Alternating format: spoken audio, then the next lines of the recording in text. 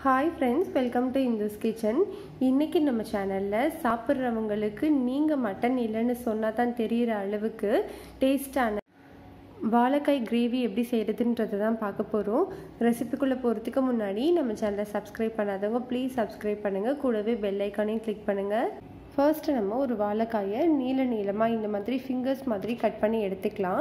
இதில் வந்து கால் ஸ்பூன் அளவு மஞ்சள் தூள் அரை ஸ்பூன் அளவு மிளகாய் தூள் அரை ஸ்பூன் அளவு மல்லித்தூள் சேர்த்துக்கலாம். சேர்த்துட்டு கொஞ்சமாக உப்பு சேர்த்து இதை நல்லா வந்து பிசைஞ்சு தண்ணியெலாம் சேர்க்கக்கூடாது. அப்படியே பிசைஞ்சு வச்சிடலாம். இது வந்து ஒரு இருபது நிமிஷம் நல்லா வந்து ஊறணும். அப்போ தான் அதில் உள்ள மசாலாவில் வாழைக்காயில் இறங்கும். இப்போது இருபது நிமிஷம் ஆயிடுச்சு. ஒரு பேனில் ரெண்டு ஸ்பூன் அளவு எண்ணெய் சூடுபடுத்திக்கலாம். எண்ணெய் சூடானதுக்கு அப்புறமா நம்ம ஏற்கனவே ஊற வச்சு வச்சுருக்கிற வாழைக்காயை சேர்த்துடலாம். இதை வந்து நம்ம மீடியம் ஹீட்லேயே வச்சு நல்லா வறுத்தரணும். நம்ம நல்லா வறுத்துட்டு நம்ம கிரேவியில் சேர்த்தா தான் கிரேவி வந்து ரொம்ப டேஸ்ட்டாக இருக்கும். அப்படியே மட்டன் டேஸ்ட் நம்மளுக்கு வந்து கிடைக்கும். அதனால இதை மீடியம் ஹீட்லேயே வச்சு ஒரு அஞ்சு நிமிஷம் நல்லா வறுத்துருங்க. பாருங்கள் இந்த மாதிரி வறுத்ததுக்கப்புறமா இதை தனியாக ஒரு பிளேட்டில் எடுத்து வச்சிடலாம் இப்போது நம்ம அதே பேனில் இன்னும் ஒரே ஒரு ஸ்பூன் அளவு எண்ணெய் சேர்த்துக்கலாம். ஏற்கனவே நம்மளுக்கு அதில் கொஞ்சம் எண்ணெய் இருக்கிறதுனால நம்ம ஒரு ஸ்பூன் அளவு சேர்க்கும்போது கரெக்டாக இருக்கும். எண்ணெய் சூடானதுக்கப்புறமா ஒரு ரெண்டு பிரியாணி இலையும் ஒரு ஒரு சின்ன சைஸ் பட்டை சேர்த்துக்கலாம். ரெண்டு லவங்கம் ஒரே ஒரு ஏலக்காய். இது எல்லாமே சேர்த்ததுக்கப்புறமா ஒரு முக்கால் ஸ்பூன் அளவு சோம்பு சேர்த்து பொரிய விட்டுறலாம். இது எல்லாமே நல்லா பொரிஞ்சதுக்கப்புறமா பெரிய வெங்காயமாக இருந்ததுன்னா ஒன்று போதும்.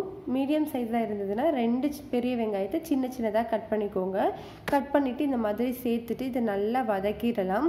வெங்காயம் ஓரளவுக்கு கலர் மாறினதுக்கப்புறமா இதில் ஒரு அரை ஸ்பூன் அளவு இஞ்சி பூண்டு பேஸ்ட்டு சேர்த்துக்கலாம்.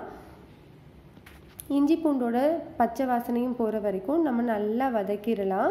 இது வந்து நல்ல வாசனை போனதுக்கு அப்புறமா மீடியம் சைஸ் தக்காளியாக இருந்ததுன்னா ரெண்டு தக்காளி பெரிய தக்காளியாக இருந்ததுன்னா ஒரு தக்காளியை மிக்சியில் நல்லா விழுதாக அரைச்சிட்டு இதில் நம்ம சேர்த்துடலாம் இதை நீங்கள் சேர்க்கும்போது நம்மளுக்கு கிரேவி வந்து திக்காக வரும். அதுக்காக தான் நம்ம வந்து அரைச்சிட்டு சேர்க்குறோம். அதோட தக்காளியை வந்து நீங்கள் அப்படியே கட் பண்ணிவிட்டு சேர்க்குறதோட இப்படி அரைச்சிட்டு சேர்த்திங்கன்னா டேஸ்ட் வந்து ரொம்ப நல்லாயிருக்கும் இப்போ இதோட பச்சை வாசனை போனதுக்கு அப்புறமா இதில் வந்து கால் ஸ்பூன் அளவு மஞ்சள் தூள் சேர்த்துக்கலாம். ஒரு ஸ்பூன் அளவு மிளகாய் தூள் ஒரு ஸ்பூன் அளவு மல்லித்தூள் அரை ஸ்பூன் அளவு கரம் மசாலா தூள் சேர்த்துக்கலாம். நீங்கள் பொடி எல்லாமே சேர்க்கும்போது அடுப்பை வந்து சிம்மில் வச்சுக்கோங்க. அப் அப்போ தான் வந்து நம்மளுக்கு அது கருகாமல் இருக்கும். அதோட பச்சை வாசனை எல்லாமே போனதுக்கு அப்புறமா ஒரு மூணு ஸ்பூன் அளவு தயிர் சேர்த்துக்கலாம். புளிக்காத தயிராக இருக்கணும். அதே நேரத்தில் ஃப்ரிட்ஜில் வைக்காத தயிராக இருக்கணும். ஃப்ரிட்ஜில் தான் வச்சுருந்தீங்கன்னா ஒரு ஹாஃப் அன் ஹவர் முன்னாடியே எடுத்து வெளியில் வச்சுருங்க. ஏன்னா கூலிங்காக இருந்ததுன்னா திரிஞ்சு போயிடும் இதுக்கு தேவையான அளவு உப்பும் நம்ம சேர்த்துட்டு நல்லா வதக்கிடலாம். இந்த மாதிரி கொஞ்சம் எண்ணெய் பிரிஞ்சு வந்ததுக்கப்புறமா இதில் ஒரு முக்கால் கப் அளவு தண்ணி சேர்த்துக்கலாம். தண்ணி சேர்த்துட்டு மீடியம் ஹீட்லேயே வச்சு ஒரு மூணுலேருந்து அஞ்சு நிமிஷம் நல்லா கொதிக்கட்டும். இந்த மாதிரி கொதிச்சதுக்கப்புறமா நம்ம ஏற்கனவே வறுத்து வச்சுருக்கிற வாழைக்காய் எல்லாத்தையுமே நம்ம இதில் சேர்த்துடலாம் இதை சேர்த்துட்டு நல்லா கலந்துருங்க. கலந்ததுக்கு அப்புறமா சிம்மில் வச்சுட்டு அஞ்சு நிமிஷம் வந்து நம்ம மூடி போட்டு வேக வைக்கலாம். அப்போது தான் அந்த கிரேவி எல்லாமே வந்து வாழைக்காயில் இறங்கும்.